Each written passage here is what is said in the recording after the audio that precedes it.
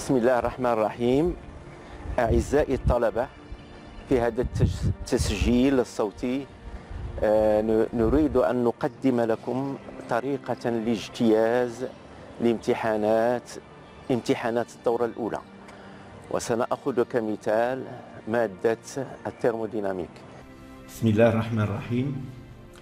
Euh, cet exposé est destiné aux étudiants euh, du semestre 1. Donc, euh, vous allez vous attaquer à l'épreuve de thermodynamique pour aborder cette étape en toute sé- sérénité. Vous pouvez dans un premier temps refaire les exercices que vous aviez déjà vus en cours et ceux que vous aviez vus leur solution pendant les séances de TD. Mais certains conseils méthodiques s'imposent. Premièrement, la compréhension de texte. Au début de l'épreuve, c'est conseillé de prendre 5 à 10 minutes pour lire tout le le, sujet. De mettre en valeur les données importantes du sujet en les soulignant. Un modèle euh, de l'épreuve de l'examen de l'année dernière, on va essayer de travailler dessus. Donc il faut prendre l'épreuve se compose de, euh, de quatre exercices. On prendra comme exemple l'exercice 1 et on va le lire attentivement. L'étude expérimentale du mol de- d'un fluide, donc mol d'un fluide, est, important, est, un- est une donnée importante dans, dans l'exercice réel, euh, a conduit au résultat suivant. Donc, il nous a donné, ils nous ont donné les, dérivés partiels de la pression par rapport à la température et de la pression par rapport au volume, avec A, B et R sont des constantes. Euh, la première question, montrer que la fonction P égale à P fonction de T et V est une fonction d'état. Fonction d'état est une et c'est ce qu'il faut montrer. Euh, sa définition, on l'a déjà vu dans le cours, donc c'est une question de cours. Deuxième question, déterminer l'équation d'état. Euh, la même chose, on a vu la définition de l'équation d'état dans le cours. Euh, du fluide, sachant que pour V tendant vers l'infini et P tendant vers RT sur V moins B. Ça sera de même pour les autres exercices. Il faut les lire attentivement et souligner les mots clés.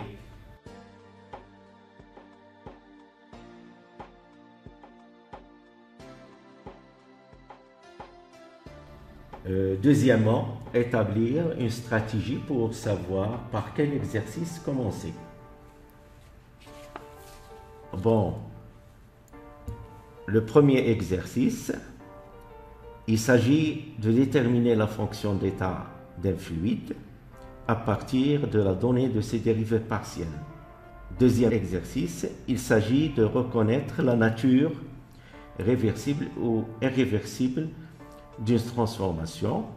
Le troisième exercice, il s'agit d'étudier une transformation menant à un gaz de façon réversible, menant, pardon, menant un gaz de façon réversible d'un état d'équilibre initial A à un état d'équilibre initial B en passant par deux chemins différents. On calculera les quantités de chaleur et les travaux selon chacun, chaque chemin et on vérifiera la validité du premier principe de la thermodynamique. Le quatrième exercice, il s'agit d'étudier un cycle moteur constitué de quatre transformations réversibles et comparer le rendement de ce moteur à celui de Carnot. Donc, commencez d'abord par l'exercice que vous savez le mieux faire. Certains exercices, comme l'exercice 1 et 2, euh, sont des questions de cours ou des applications de ce que vous aviez vu dans le cours qui sont généralement à votre portée. Ce sont des points facilement gagnés. Troisième euh, point, pour chaque mot souligné dans l'exercice, essayez de, correspondre une formule ou une définition qui vous permettra de répondre correctement. Quatrième point, proposer un chemin entre les données et le, le résultat. Cinquième point, le report des résultats sur la feuille d'examen. Donc, soyez clair dans vos réponses, faites des phrases courtes et correctes et utilisez un langage scientifique adapté. En somme, facilitez la, lecture de votre correcteur, il n'en sera que plus indulgent. Faites bien attention aux unités. Il faut toujours préciser l'unité des résultats et convertir euh, les unités au système des unités internationales. Si on vous demande de calculer une, longueur et que, que votre résultat est une masse, c'est qu'il y a un problème quelque part. Il faut aussi faire attention à la cohérence de vos résultats. Parfois, un étudiant va trouver comme résultat euh, que la longueur euh, de l'Koutoubia de 3 mètres et cela ne lui pose pas de problème. Il faut avoir une idée des principaux ordres de grandeur. Les résultats doivent, être bien lisibles et bien encadrés. Donc, euh, après avoir lu euh, l'exercice numéro 4 qu'on prendra comme exemple. Et on, a, on va voir les, les mots importants ou bien les données importantes euh, qu'on a soulignées dans cet exercice. Euh, donc on a affaire à une machine thermique, N mol. Euh, il ne faut pas oublier que l'exercice 4, il est très important. Il représente presque la moitié de la note de l'examen. Donc il faut euh, le faire et le solutionner avec rigueur. Donc les mots-clés, euh, machine thermique, donc N mol d'un mélange d'air et de carburant, qu'on va supposer par la suite euh, que c'est un gaz parfait. Et on a quatre transformations réversibles que vous devez connaître parce que c'est du cours. Compression adiabatique, compression isobar, compré, euh, pardon, euh, détente adiabatique et détente isocore. Vous allez tracer ces quatre euh, transformations sur un cycle de Clapeyron P en fonction de V donc on, on vous montre euh, l'épreuve de l'exercice 4, comment elle est donnée. Donc on vous donne un diagramme où on a tracé deux courbes, des isothermes TC et TA, et des questions, bien sûr, à, répondre on vous donne des cases pour, pour calculer la quantité de chaleur, la quantité de travail, pour calculer le rendement et euh, pour comparer le rendement de cette machine avec celui de calme. Comme on avait dit, dans une machine thermique, donc on a quatre transformations réversibles compression adiabatique, compression isocore, détente adiabatique, détente isocore. Donc pour chacune de ces transformations, on sait très bien de quoi, de quoi il s'agit. Ça, vous l'avez dans le cours. Le, le mélange d'air et de carburant est considéré comme un gaz parfait. Donc, euh, gaz parfait, automatiquement, il faut euh, aller directement à l'équation d'état PV égale à nRT. Les températures en A et C sont données, euh, les constantes sont données aussi. Euh, donc, les mots-clés, chacune représente euh, ou bien a une définition. Je remarque que j'ai affaire à des transformations réversibles d'un gaz parfait que je sais tracer dans le diagramme PV. Je remarque aussi que le diagramme PV est donné et les isothermes TA et TC y sont représentés. Question 1 et 2. Donc, proposer un, un chemin entre les données et le résultat. De A à B est une compression réversible adiabatique d'un gaz parfait. Je sais comment tracer dans le même diagramme une adiabatique par rapport euh, à une isotherme d'un gaz parfait. Donc, euh, le point de départ A choisi sur l'isotherme TA et le point d'arrivée B entre les deux isothermes sur un chemin hyperbolique dans le sens diminution de volume et augmentation de la pression, car il s'agit d'une compression. Donc, euh, le chemin de B à C est une compression isocore. Comprimer un gaz parfait à volume constant, c'est augmenter sa température. Donc, BC est un segment de droite parallèle à l'axe des pressions et point d'arrivée un point C sur l'isotherme TC un raisonnement, un raisonnement analogue est utilisé pour les transformations C et D, qui est une détente adiabatique, et DA, qui est une détente isocore.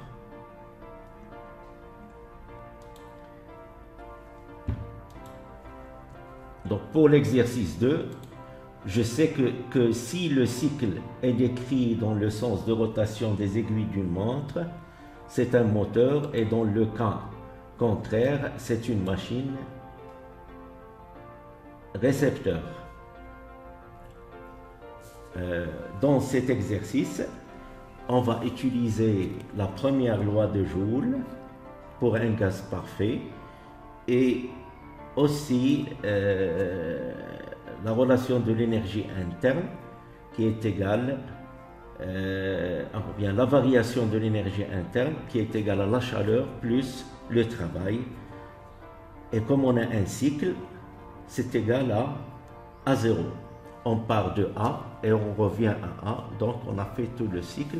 Donc, et comme delta U est une fonction d'état. Et comme delta U est une différentielle totale exacte. La première loi de Joule ne dit que la variation de l'énergie interne lors d'une transformation ne dépend que de la température. Maintenant, on va déterminer les quantités de chaleur et les quantités de travaux échangés lors euh, des quatre transformations du cycle. On commence par la transformation AB. On commence par la transformation AB et on sait très bien que c'est une compression adiabatique réversible. Donc pas d'échange de chaleur avec l'extérieur. Donc QAB égale à 0. Donc delta QAB, delta UAB égale au travail. Et delta UAB, comme euh, d'après la, la, première loi de Joule, ne dépend que de la température. Donc c'est égal à NCV TB moins TA. Et en conclusion, NCV, euh, le travail, AB, c'est égal à NCV, TB moins TA. Donc en revenant euh, à l'expression de CV en fonction de R et de gamma, on trouve CV égal à R sur gamma moins 1. En la remplaçant dans l'expression, finalement, on trouve le travail entre A et B, c'est égal à NR sur gamma moins 1 multiplié par TB moins, moins TA. On remarque Bon, TB, d'après le, diagramme, TB est supérieur à TA, donc le travail est, positif. On passe à petit b, c'est la transformation BC, c'est une transformation isocore et on sait, très bien euh, que lorsque le volume est constant, le travail est nul. Donc travail BC égale à 0. Et d'après la, première loi de Joule, on a delta U égale à QBC qui est égal à NCV TC moins TB. La même chose en remplaçant CV par sa valeur en fonction du gamma. On trouve TC moins TB.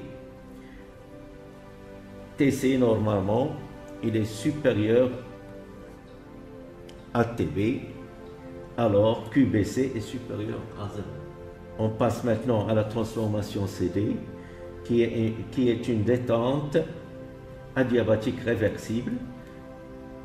Donc, comme on avait vu au début, QCD égale à 0. De plus, euh, donc en utilisant le, premier principe euh, de la thermodynamique et la loi de Joule, on trouve que delta, euh, la variation de l'énergie interne, égale à N CV TD moins TC. Donc le travail entre C et D, c'est égal à NCV TD moins TC, avec C toujours égal à R sur gamma moins 1, d'après bien sûr euh, la relation de, de Maillard. Donc d'où le travail entre C et D égale à NR sur gamma moins 1 et multiplié par euh, TD moins TC. TD, comme on avait vu, il est inférieur à TC. Donc le travail entre C et D est inférieur à, à 0, il est négatif. La transformation TA, c'est une tra transformation isocore. Euh, donc en prenant la même démarche que pour BC, on trouve euh, la quantité de chaleur, c'est égal à NR sur gamma moins 1, TA moins TD. TA elle est inférieur à TD.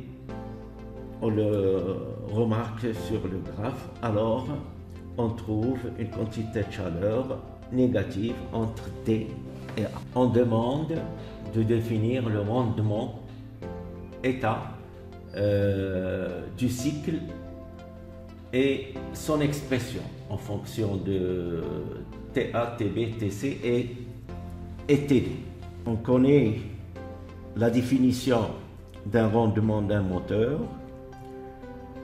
État, c'est égal au rapport de ce que l'on veut obtenir sur ce qu'on donne. Donc c'est égal à moins le travail, c'est ce qu'on veut obtenir, sur la quantité de chaleur qu'on a dépensée. Et on a aussi la variation de l'énergie interne du cycle qui est égale à zéro. Donc à partir de ces deux relations, on va déterminer le rendement de cette machine moteur. Donc le travail, c'est égal deux travaux parce que pour les deux isocores, le travail est nul.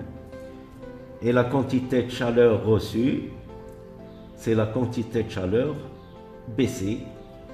BC, bien sûr, comme on avait vu, elle est, elle est positive.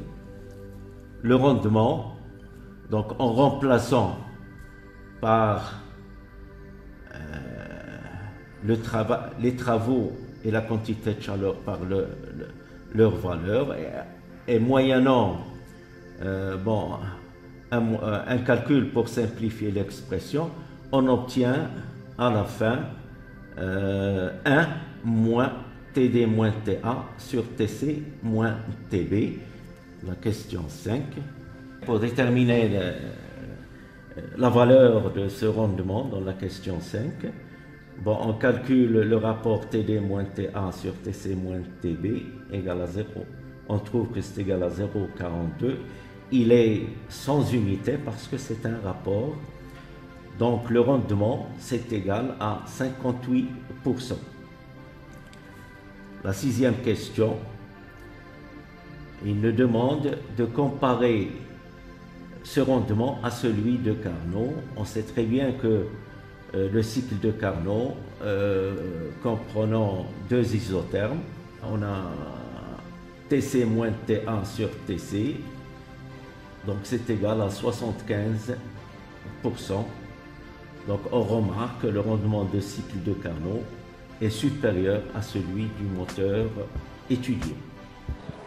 وفي الأخير نتمنى آه، أنكم قد است- استفدتم من هذه الطريقة ونتمنى لكم التوفيق والسلام عليكم ورحمة الله.